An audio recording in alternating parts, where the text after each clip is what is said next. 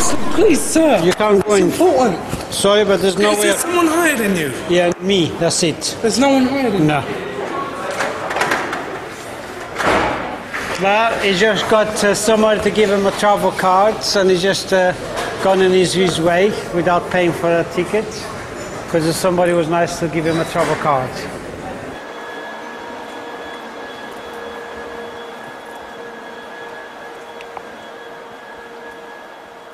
At Brixton, station supervisor Jose Monteiro suspects a passenger may be taking drugs. Can afford the drugs? It's not drugs, sir. No. No, it's not. So what's that in the little box? It's prescribed. Trust Is me. it prescribed drugs? Right. me, sir. Can you do me a favor? I'm Either gonna you take make it. upstairs, right, or I'll have you arrested. It's entirely I'm up not to you. going to take him here, sir. I'm going. Right, you're going upstairs. I'm going. I'm going. No, you're going upstairs. Upstairs. I'm going to Borough, No, sir. you are going upstairs. All right, okay. Monty is in a constant battle with touts and fare dodgers. This kind of encounter is all too familiar and sometimes ends badly. I've been assaulted there a couple of times. Well, one of them was a couple of kids which were hanging around the station. They uh, grabbed my hat, so I turned around, so they got a Coca-Cola bottle, they smashed it up through my lip, broken the tooth. Uh, and the other one was uh, a drunk.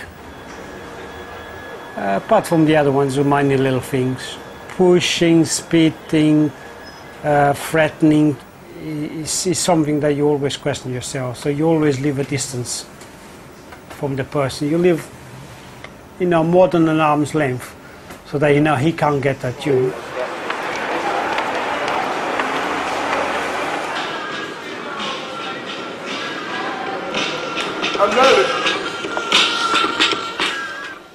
Mandy's new job in the control room gives her an overview of the whole station.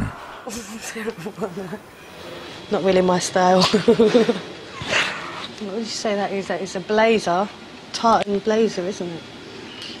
She has to record anything that's found at the station, ready to be sent up to the lost property office at Baker Street. Not everything that gets left behind causes a security alert. A Nokia camera phone, handbag, pair of large shears, garden shears. That was found on the last train. This, these. Obviously, we've had to wrap them up. We found syringes, like obviously like drugs and everything in tins. We've had a whole bag of like meat left on the train before.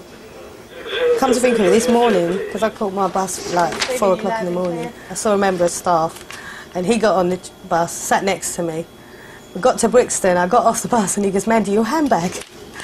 You see, it happens to us all. Sometimes you're so tired. Every year, over a hundred thousand items come to the lost property office, each with its own story. Only a quarter of them are ever claimed. This is one van's worth. We usually get three times this, which on average about 600 items a day. We have everything from televisions to surfboards to skateboards, bags, pencil cases, christening photos, wedding photos, umbrellas, obviously. If it's Christmas time, we get lots of wrapped Christmas presents. If it's sales time, we get lots of items where people have been out and bought stuff in the sales. Credit cards, passport, people's wallets, jewellery items, camera, laptop, computers, Wi-Fi system, makeup bags, quite common. A separate section for mobile phones. My Sony PSP. I'd only just got it imported from Japan and brand new games console. Just hadn't even got to play it and it was in my bag. So, but it's my fault. for fell asleep. So. Edward Hackney hopes his bag's been handed in with all its valuable contents. If you could sign here, please, and just write down your address, okay? Dr. Chaka and his wife won't even be able to go home if they don't find their lost bag.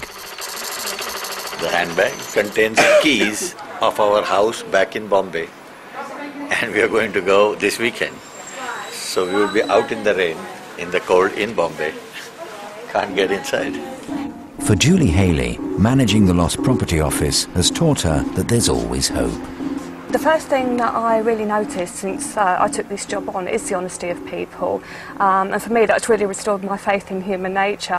You never quite know what the person sitting next to you is carrying um, until you come and work in a lost property office. As you can see, we get lots of lots of toys coming into us. Um, again, that's really rewarding when we're able to give a toy back to a child. Might be their favourite toy and they can't sleep without it. It's lovely and soft. Bless him. So we tried to break it down to make it a little bit easier for the people actually doing the searching and also the storage.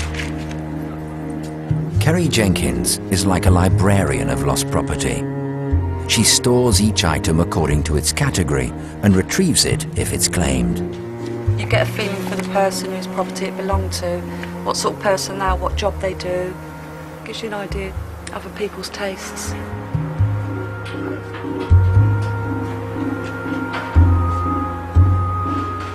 Some of the things are really lovely that come in, really expensive things as well, and they're never claimed. We got a, a lot of photos of weddings and births and everything, and you think, what a shame they've lost all these photos.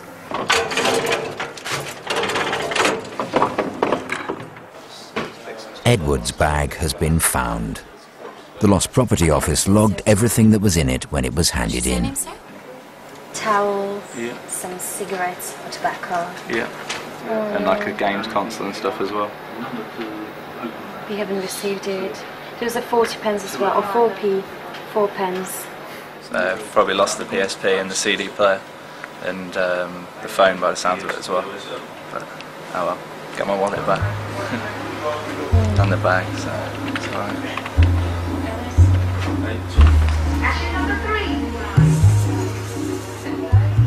Two hundred and seventy-one pound Okay, that's fifty-four. right. That was still in your bag. I'm just gonna make sure it's all there. One, two, three, four, five, six, seven. That's two hundred and seventy. We're very surprised to find the entire amount of money inside. Here you are. Thank you very much. Our major problem was the keys, of course. Money is, of course, replaceable, but obviously some gentleman must have just returned it without opening the bag. And obviously the office checked up everything and kept it inside, looks like it. Other, well, nothing has been lost.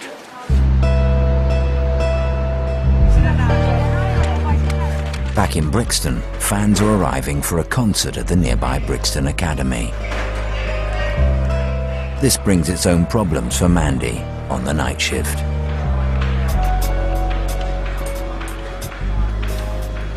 I should really call the BTP and let them know we've got concert touts. They've been standing there for a while, they've got the tickets in their hand, and a lot of them are quite, they're regulars. Guaranteed to see them. Wherever there's a concert, you'll probably see them.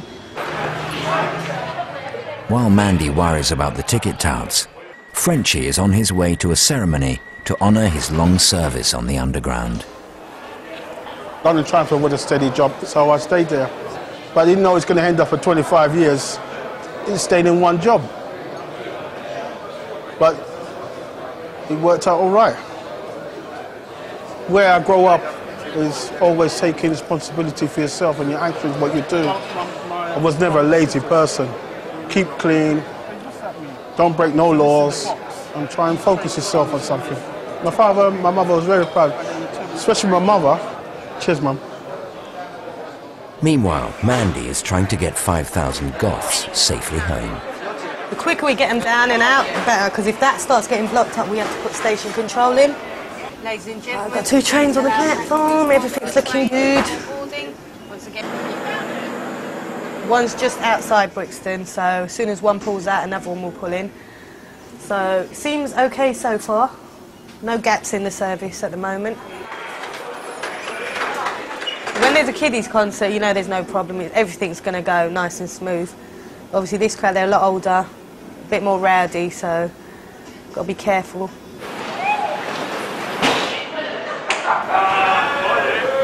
Could you please put out your cigarette? Once again, to the gentleman smoking on the escalators, could you please put out your cigarette? Thank you. Known to his colleagues as Frenchie, joined London Underground as railman in 1979 at the age of 18. Yeah. Why?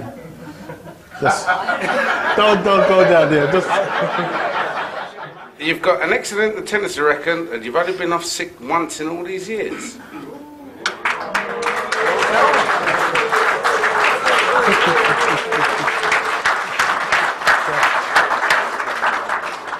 mm, very nice. As Frenchie reflects on the last 25 years. Another day of service comes to an end at Brixton.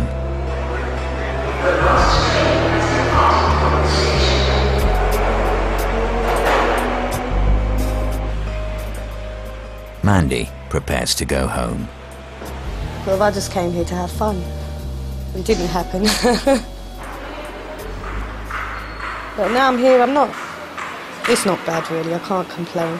I'm still learning. And every day something new can happen.